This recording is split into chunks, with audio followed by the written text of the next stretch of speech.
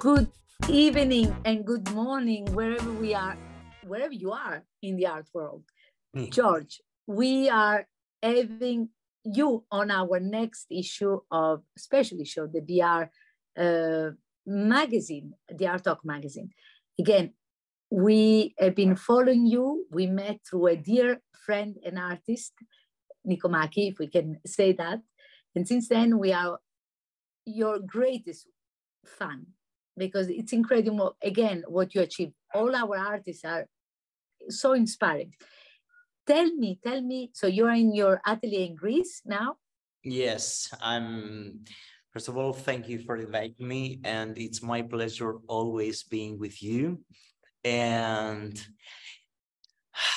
I'm back in Greece and in Europe, uh, and I'm very happy being back here after a long trip and exhibitions in Japan. And I'm back for good, hopefully to stay like more like four years in a row to start working in Europe. And you know that it's very important for us being in Europe because painting, which is my main topic, is like Europe for me. Yes, So yes. Thanks for giving No, we, we, we thank you for taking a bit of time and, and, and again, it's a, it's a, as we can say, it's an honor to have you and to follow you wherever, you know, you really, wherever you are in the art world, because you've been everywhere since, since our last art talk. But tell us, tell the art talk audience, uh, who is George? Who is George Stam- Stamatakis? What inspired you to be an artist? How, how did it start? It was a long trip, meaning that I was always knew that I'm an artist, but I was like good student also. So I decided start working with uh, the um, medium of, let's say, painting since I was like very kid. But uh, then I studied firstly economics and then media and marketing. And then I follow directly to the art. The reason that George, let's say me, decided to do this because I wanted to have in a public language and um, having my personal perspective on everything that I'm thinking, I worry, I love. It makes me to feel scary. So I wanted to have my own medium to speak with the communities, with the people that I love. And art is um, is a very special thing for me and a very common um, language that we share, which is like painting for me, the image, the pintura, how it's called in Italian. So for me, it's very important to communicate with the people for issues and for topics that I worry. And I decided to do this through art instead of journalism or marketing and things like this. So George is a very happy person I, uh, because um, I discovered a very magic world that I belong, and uh, I'm sharing my very personal worries about our existence through the art. And as a painter, as an artist, my main topics are surrounded around the world of the environment, Yes. something that uh, we all have to worry, but at the same time, we have to speak to because dialogue is a very nice way, a very correct path to solve or to give solutions. Yes. That's why I'm here, and that's George doing actually. Uh, I'm designing and I am creating a project that uh, facing problems directly to the communities through exhibitions, of course.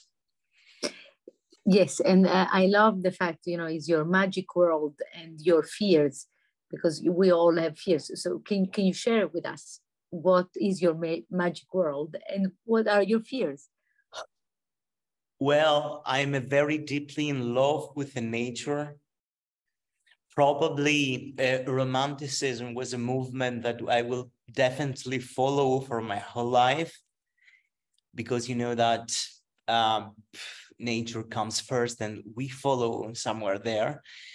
And I worry because um, many, many new realities comes and every year we have to deal with these changes that happens to the global system.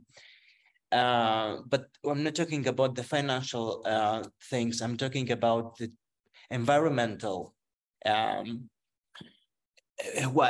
so um, i do really worry about what comes in the future for us and my body of the body of my work, always speaking about topics like this.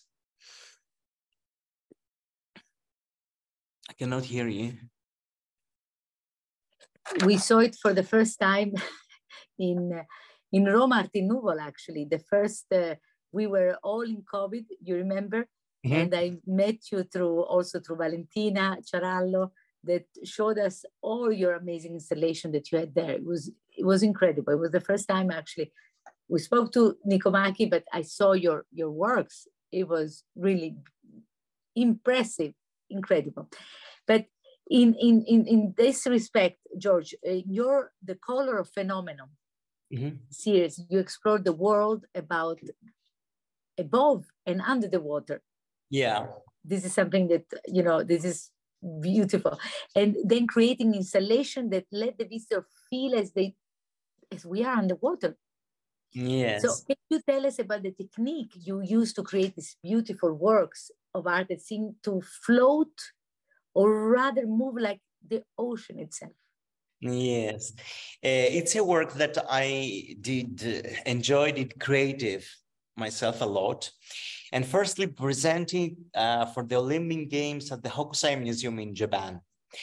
And I was thinking what materials can match, uh, like uh, can fit to make like the fabrics to looks like water. So I decided to use a Japanese silk, which has mm. high transparency. And also it's very elegant as a material. So you can see through the fabric. And I did also photography and painting on this digital and I print and I created the whole installation, which is talking about the um, damage that we uh, do to the sea and what is going to be the future changing of the color of the sea. So I was very lucky being also in Italy, presenting this, that Louvre with, of course, Valentina. And uh, in in this case, I used Japanese indigo, and this Japanese indigo can actually damage a fabric if you don't know how to use it. So um, I did uh, this uh, by using the fabrics, the silk, which is 100% organic, because I love this organic uh, materials to using in my practice. And yes, I created the work here and then Japan. So I managed to make a work that actually combining the whole four important element that we have, like fire, water, mm-hmm. earth, and air, because the installation is moving, blah, blah. So uh, I, the idea was like to make something that it really relates a lot mm-hmm. the nature uh, image of the sea, but also to be like very, uh, how I can say it, beautiful. Because yeah. you know, uh, as an artist, we're talking about things, but sometimes we are the people that we need to present beautiness. So I wanted to give to the audience and the visitors a very nice experience, a beautiful experience on a very sensitive topic. Yes. Um, and it was a big bet, I think, but it was good. well, it's unique. What you do, I think it's unique. It's um, it's it's it's beautiful. Again, it's uh, when I first saw it, I I was so impressed by you know as you said by the lightness. You know there is this floating effect, and you you actually feel to be in. I I love, you know, since we are from the Mediterranean, uh, you know the sea is part of us. You know it's it's uh, it's all around us the colors, the the the the, the, the you know the beauty. Uh, it is it is something very very important, but not only for us, of course, as you say, for the entire world. Yes, there this archive, because there is an also archive of photography. This archive is to go to the next generation's inheritance. It's not for us only. That we are doing actually. We're working for the next generations. Yes, yes, I love it. I love it because, as you say, it's it's one thing to to you know to talk about it, but also to do something about it. It's very important. Yes, and it's very important to make people to feel more sensitive and the responsibility that you give to them through your work it's important for me yes yes no i i i, I adore what you do and as i said we we we we are following you. So another another thing that i would love to to to know before we go also to see to visit your your studio your atelier it's, it's uh, we can see the background uh, in your atmosphere series. Yeah. The term that comes to mind is contemporary naturalism or mm. neo-naturalism yeah. Both romantic and perhaps desolate in the representation these yeah. landscapes attract like magnets. Was what was your inspiration about the series? Mm, you know, it was a very big, very big um, story. But let's say that before many years, we had this problem in Athens about the atmosphere because of the pollution, right? Yes. We globally dealing with this. So one of us was in Beijing in China, I was like uh, visiting and I was very surprised and but it was very magnetic at mm. this point, very romantic, very atmospheric, but at the same time it was a very big problem. So I was thinking, oh my God, imagine to have those people in the very big city and you cannot see anyone because they destroyed it.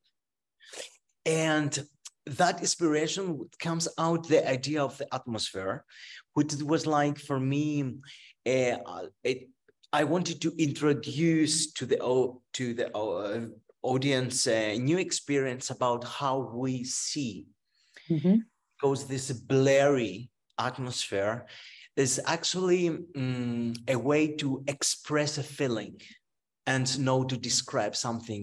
It's not minimalism. Mm-hmm uh, the idea uh, the idea is to express the atmospheric let's say sense that you feel. And some people that they, their vision is not that very good like mine probably they feel they feel very very comfortable being in front of a painting of this series of work. So I wanted to give something which is like beautifully, but at the same time damaged because on this painting series, uh, the audience um, can have the chance to stand in front of a painting, but actually this uh, work can have the ability to change shade of white. According to the lightness and the humidity in your space. So this work is a very alive because if you have a very bright light in your home, for example, mm-hmm. uh, it becomes very bright white. If your house is not very well on light wise, the shade of uh, white becomes a bit weak, a bit yellow. And this is a technique about the oil, the amount of oil that we use, the medium, I mm-hmm. mean, and the paint itself. So uh, for me, it was an idea how to make a painting that can change color in a small time duration and make it actually alive and also can give you the ability to check if your house inside as co is correct. So if it's correct, the painting looks very healthy. If Mhm. it's not correct, if you don't care about it, if you keep it closed, blah, blah, it starts to become yellow. And this is funny, but at the same time, it's um, something that I wanted to make. I wanted to make something alive. And that's why. Um, do you do you know if uh, any, you know, of your of your art lovers or art collectors, do you know if this process is is has happened already? uh, it works. Uh, it works and it works a lot because I sit in this studio when I have something to transfer it somewhere. They say, "Oh my God, this has become yellow." Yes, it's become yellow, but you have to keep it in a very healthy environment to start being again white. For painters, especially for great painters, because they know the analogy, they know the reaction between colors and medium, they know this uh, because li- linoleum gives that yellow sense. Yes. Um, so it was linoleum and uh, white color. And this series has actually two colors only.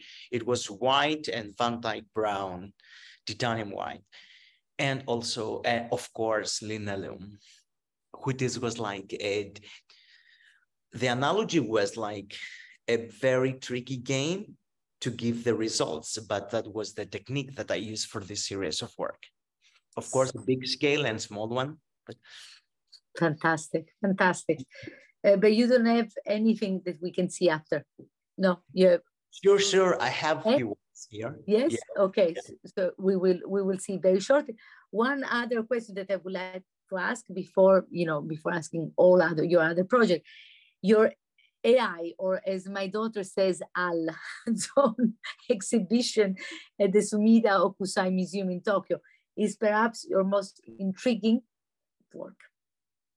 Yes. Japanese indigo online and as a medium, you actually process the indigo plant to create your paints.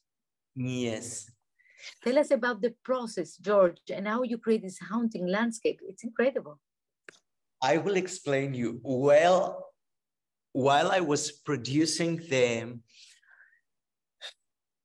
the atmosphere, I was feel a bit shame because I was talking about the environment and at the same time I was using plastic things like plastic canvas, not of course the body of the canvas, but uh, gesso, for example, or the paint itself, or metallic. And I was thinking, you cannot talk about the environment and using plastics and whatever. You have to do something to actually can be elegant also, but at the same time, very organic. So I was like, I was very lucky because I met um, James, a very elegant and fantastic person, and Catherine, his wife, that they have um, industry in England, UK. Mhm. Mhm. So we make a deal to produce a specific transparent fabric for me.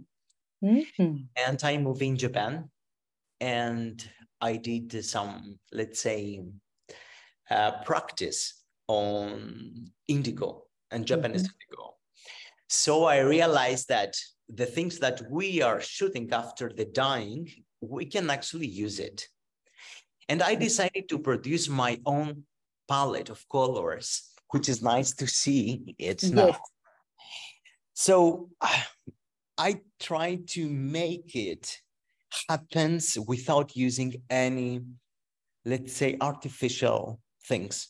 Mhm. All is natural. So I tried to melt the plants and created colors like this, Oh, wow. like brown, Yes. like green, like black, You can see they're alive, alive. Eh? alive, yes. Incredible. And this has happened because you know what? It's fantastic to try to make a very beautiful green color and applied it in a canvas, but nothing can you cannot compare it with a natural project, which is actually plant. So when a, you apply a plant, melted plant, of course, as a color in your canvas, it's naturally the color, you cannot, how can I say it? Nobody can copy this sensitivity of a natural color. And for us, it's a bet as an artist to make something that reflect to the reality, but not reality. So mm-hmm. I show you one work that, and I you explain you how I did it. Yes. So in this case, we have this canvas. It's a linen. Mm-hmm. And I am dyeing blue color of indigo. So you can see the shade of a sea here, which is mm-hmm. indigo.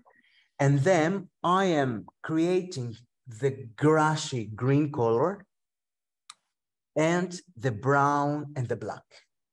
Hmm. so I'm building in totally different timers, of course, right? Because you need sometimes to become from brown to green, for blue to green and green to brown. So I'm creating, uh, I'm waiting like three months about for, to produce one of those works. But mm-hmm. uh, I managed to make something that people suit threw away because after indigo expires, there is no mm-hmm. use for it. It's garbage. So I'm adopting this. I'm taking garbage. I'm creating the palette of the colors and I'm applying it directly to the fabrics after, of course, having dyed the fabric. So in this work, yes, this you see uh, a very a very transparent fabric. So I dye first, and then I create the whole painting. I'm designing with the colors that I create myself. Mm -hmm. Here, for example, in this work, there is no a, blue color. Yes. Yes, it's only green and brown. This is a decision that I made in order to create this work. Here, for example, here is a small depot and I'm having here some works, but it will be nice to show you how it actually looks.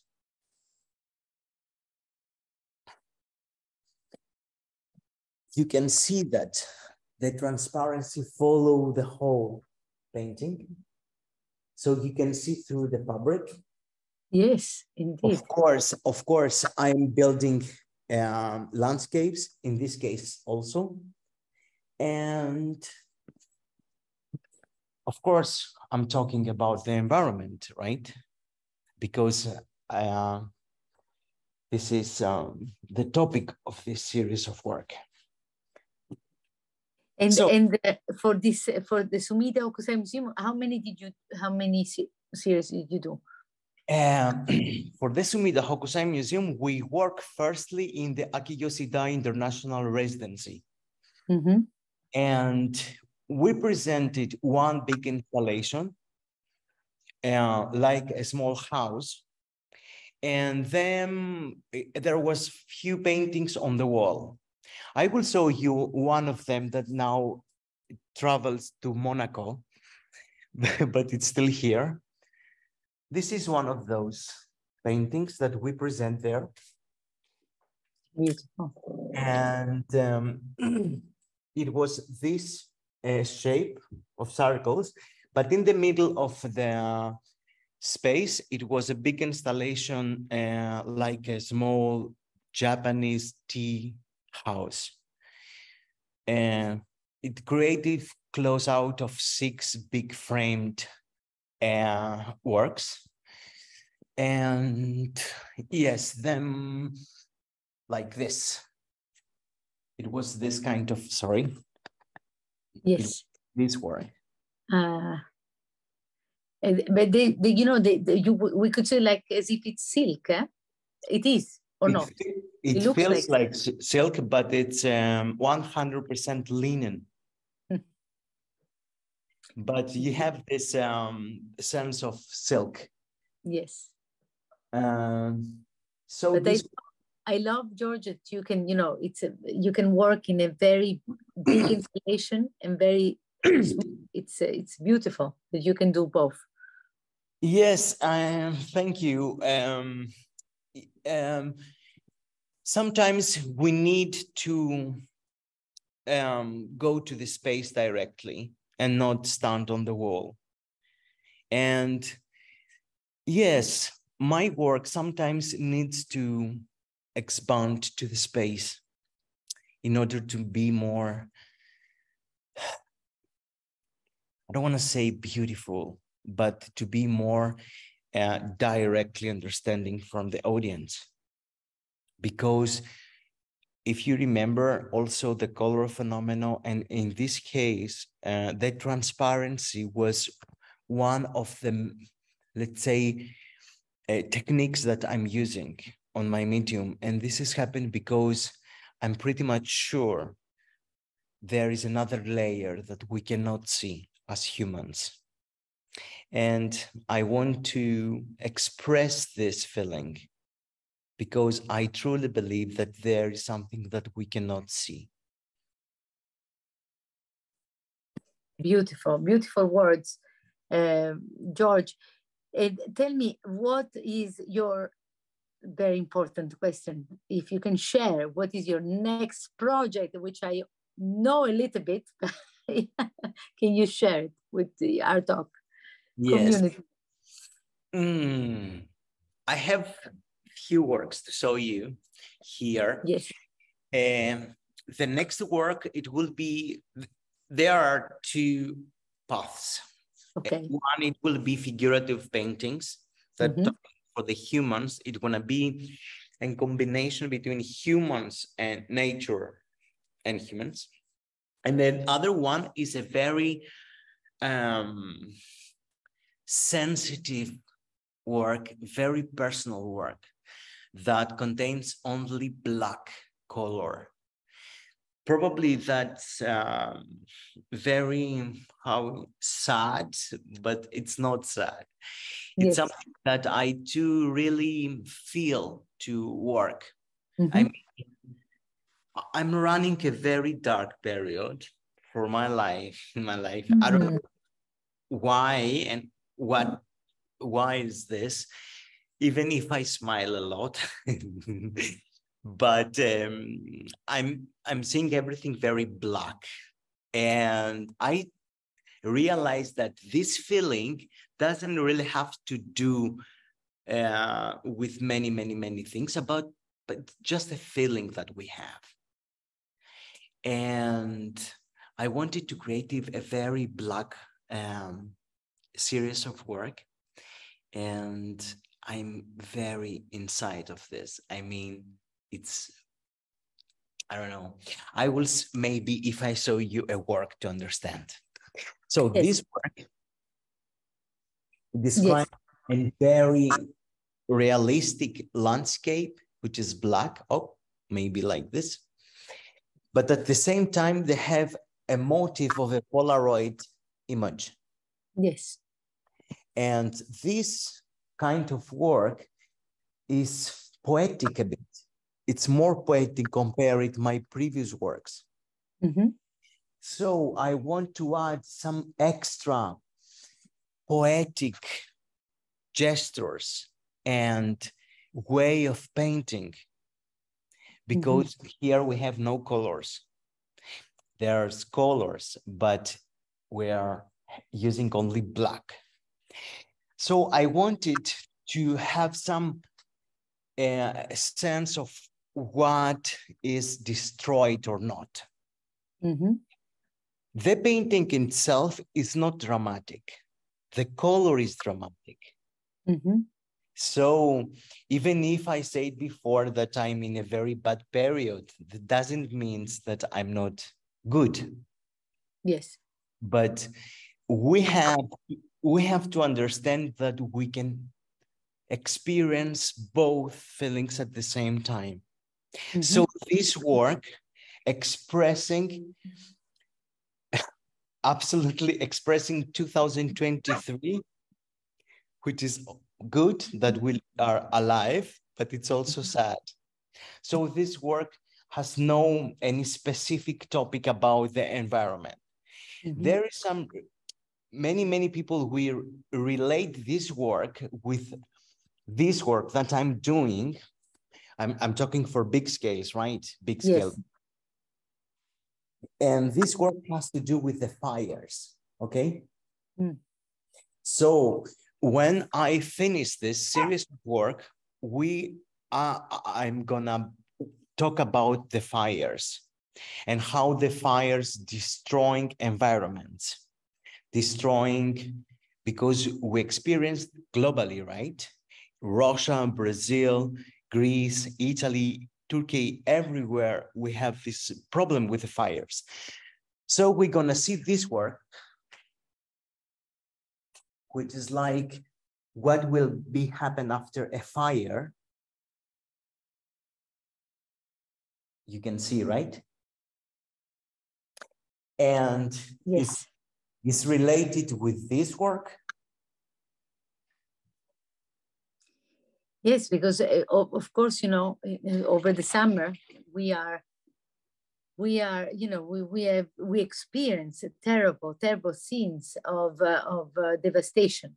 Yes, it's a it's a very unfortunately it's a horrible moment of our summers. like we... this, yes, yes, like this works and also like the black one.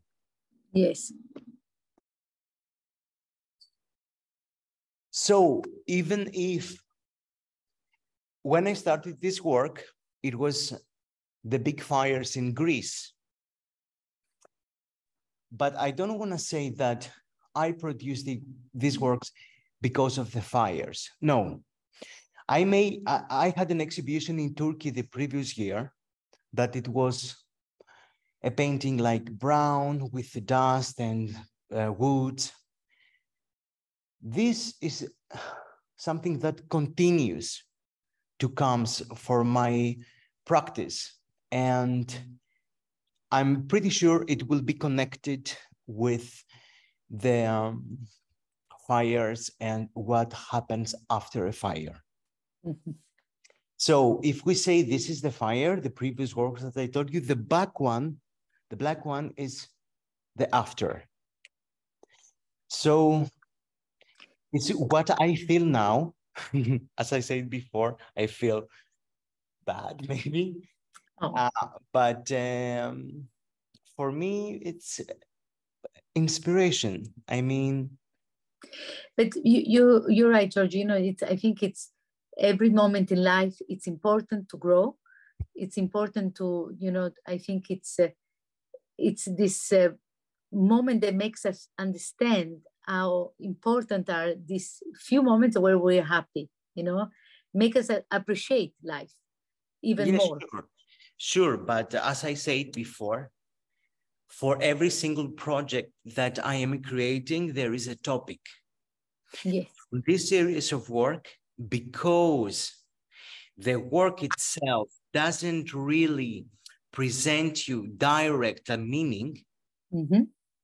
the whole aesthetics and the design, the way that I'm painting this, uh, it will give at the end the image, the painting of something that have burned. Mm-hmm. So that's why the Black series comes. Yes. This time but of course, there, there is another idea behind this. The fires comes first. So this Black Series is something very new. We will run an exhibition in Mykonos this summer to present few of those works. And it's not about to be released in 2023 because I will, uh, we will have to make an exhibition about the uh, Eye Zone, which is the new series of the Indigo. Mm -hmm. But Mm-hmm. this one, it will be a very, very, very, very big scale. So it will be like um, big installation. It's not about to be like a small work. Wonderful. Wonderful. Well, you know, again, truly inspiring because it's beautiful to to understand and reason with you the way you know your your your your technique uh, process is going and uh, I, I really thank you because it's it's beautiful you know it's beautiful to see as you said you you, you know your you you speak poetry in different ways but Mm. through your paintings and it's uh, again it's uh, it's uh, truly inspiring to to you know for others also to to see that everybody's going through the same Yes. moments in different times in life Yes, as I said before, it's very important to be very understandable. The thing that we artists we have to present, even if Mhm. if something is sad, yes to present it in a beautiful way, because we are called here to present and make something beautiful. Bello. even if is even if is very destroyed or very damaged we need to give it to the people the beauty of it because yes everywhere is a beauty I, I I agree with you. I agree with you, which is a beautiful, positive, positive message for all of us. And again, George, I, I really thank you because I'm I'm so excited that, to see you very soon. Uh, which you know, if you want to share it, I I yes, you you will be visiting you know Switzerland very soon. So we are not going to say more. We're going to keep more people on the suspense. But when our our, our you know VR uh, first issue of the magazine will be released, you're going to be with us. That is fantastic. thank So you so much and i'm looking forward to be with you in switzerland and my new studio will be there Yes, yes there is a very special reason to to start working in switzerland and Fantastic. very happy being there with you and sharing our lives we can't wait. As you said, you know, it's nice when we we meet. It's this, you know, and to share time and space together. This is incredible. So now, you know, we're gonna really have you here and show you the beauty of uh, of this wonderful country. So again, and and again, you know, we can't wait actually to to escape this beautiful country and to come to you and and to have a bit of sun. I have to tell you the truth, but it's okay. Actually, Yes, we, we have a beautiful sunset. welcome in Greece. we have a beautiful sunset here at the moment. So, but uh, George, it's a pleasure again to have you with us, and I I can tell you a hundred times uh, and a hundred times more. And uh, have a wonderful evening because I, I see it's a bit dark. We are still with the light here. you see, Yes. few hours. I just Um, realized that. we made you keep. We kept you in your atelier a little bit longer today, and thank you. no, your no, it's my pleasure. Always my pleasure. and uh, again see you very very soon Thank you very Okay. much. this Yeah. new brave art magazine world